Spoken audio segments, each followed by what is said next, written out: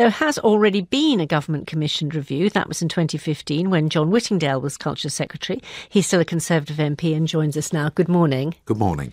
And just remind us of the conclusions of that review and whether you agreed with them or not. Well, the review made a number of recommendations, most of which were accepted. Um, however, it did raise concern about the potential impact on revenues uh, of the BBC, and we took that into account as part of the overall discussion with the BBC of the licence fee settlement, and so we agreed at that time uh, not to proceed with decriminalisation, but we said it would be kept under review, and we're now five years on, and the broadcasting world has changed a great deal, so I think it is sensible to have another look at it, certainly.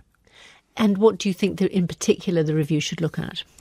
Well, one of the big changes that is taking place, and it's happening very fast, is that uh, more and more people are choosing to pay an additional amount through subscription for other channels.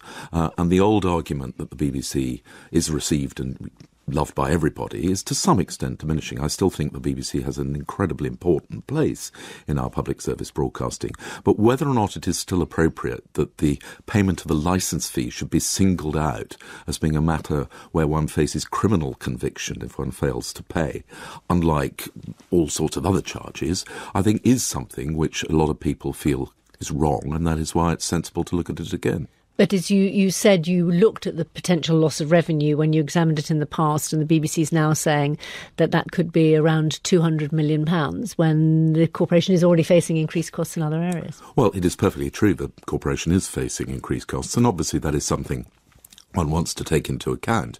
But nobody's saying that uh, one shouldn't pay the licence fee. The question is whether or not it is right uh, that somebody who maybe can't afford to pay it, struggles uh, and doesn't pay, could possibly face a criminal conviction rather than you know, uh, have it enforced through the same means as many other charges. The government is also announcing a new scheme today, isn't it, um, to help people, the people who were receiving a free licence fee, um, the over 75s. That's now going to be changing, and it's a scheme to help them to be able to pay.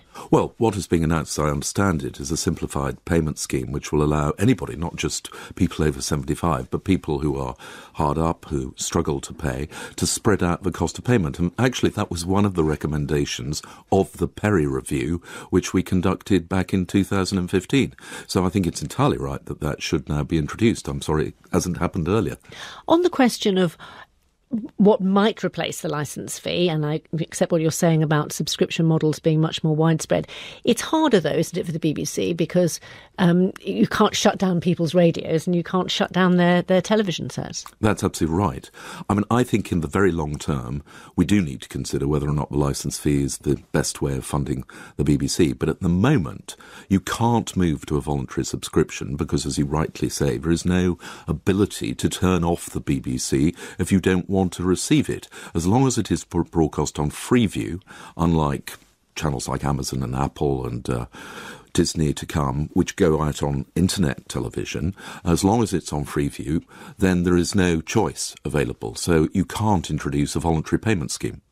There has been criticism by the government of the BBC's coverage. Do you think it's right to mix the funding model and that criticism? Well, I'm a very strong supporter of the independence of the BBC.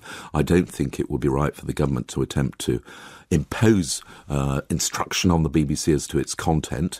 Um, I do think there are questions the BBC needs to ask about its content, particularly in the light of the referendum debate, the general election, but that has to be kept se- separate.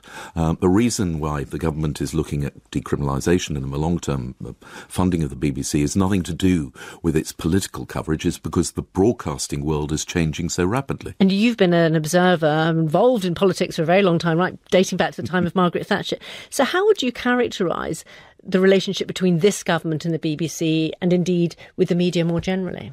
Well, I mean, there's always going to be tension between government and media, um, and this government will not like some of the things that come out on the BBC or indeed appear through other news outlets, uh, and there will be that. But I believe in freedom of the press and freedom of the media generally, um, and in a sense, that's part of the what you, you have to put up with in government is that people will write things which you don't always like. That's certainly true. John Whittingdale, former Culture Secretary, thank you for talking to us.